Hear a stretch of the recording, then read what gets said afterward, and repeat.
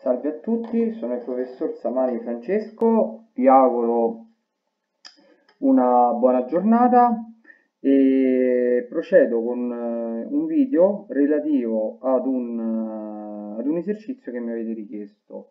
L'esercizio per motivi di eh, brevità lo trovate eh, proprio nella copertina, nell'immagine di copertina e in ogni caso ve lo rileggo eh, rapidamente per poterlo risolvere ma non scrivo la traccia. Ricordo a chi non mi conosce che sono in diretta live. Ho avuto mh, diversi suggerimenti da, da voi. Eh, chi, io registro tutto eh, essenzialmente i docenti che mi stanno seguendo, eh, che sono in contatto con me, utilizzano il PC. Però eh, ovviamente YouTube è utilizzato spesso e volentieri anche da smartphone e eh, per gli smartphone diventa difficile la lettura perché ovviamente eh, su un PC con un monitor da 20 pollici, comunque da 15 pollici in su è facile leggere tutto. Con uno smartphone da 5 pollici diventa difficile leggere. Io ho una lavagna pressoché infinita, una lavagna, una LIM virtuale infinita, a questo punto scriverò più grande e eh, seguo il suggerimento, la cortesia che mi avete chiesto di scrivere più grande.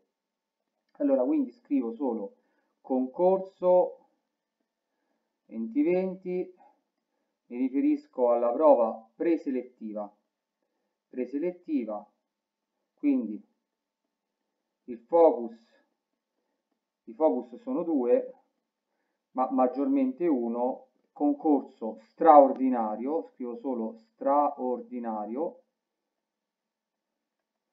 potrebbe servire, ma a mio avviso in minima parte, al TFA quinto ciclo.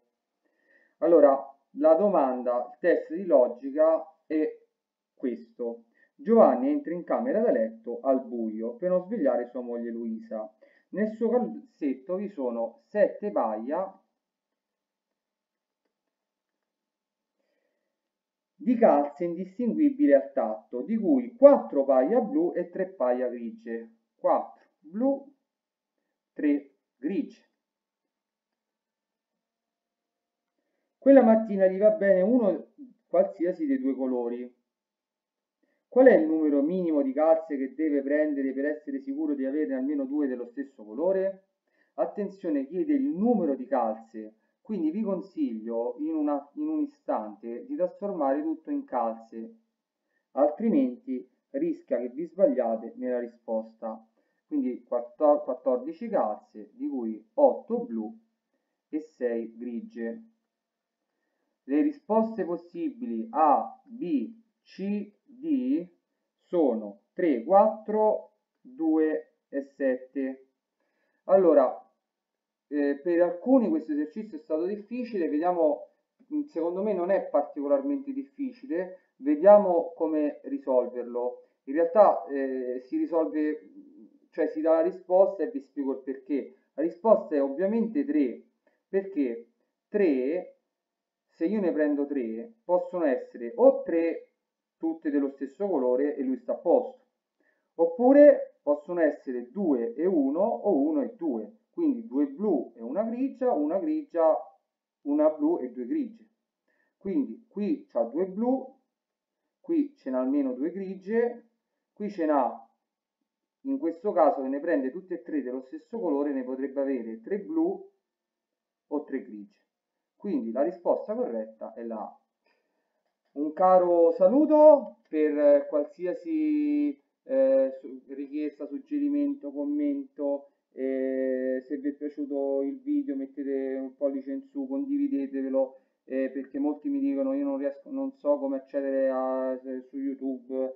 Eh, basta cliccare il link. YouTube fa parte di Google. Google è importante che lo abbiate potete, tramite un account Google potrete proprio registrarvi e quindi iscrivervi al canale attivando la campanella non perdere alcun video è importante attivarlo perché qualsiasi docente soprattutto adesso che si fa didattica a distanza deve avere il pacchetto Google che poi gli sarà attivato dalla scuola perché con Google Meet eh, ha la possibilità essenzialmente di fare la didattica a distanza Un caro saluto, alla prossima. Ciao, grazie.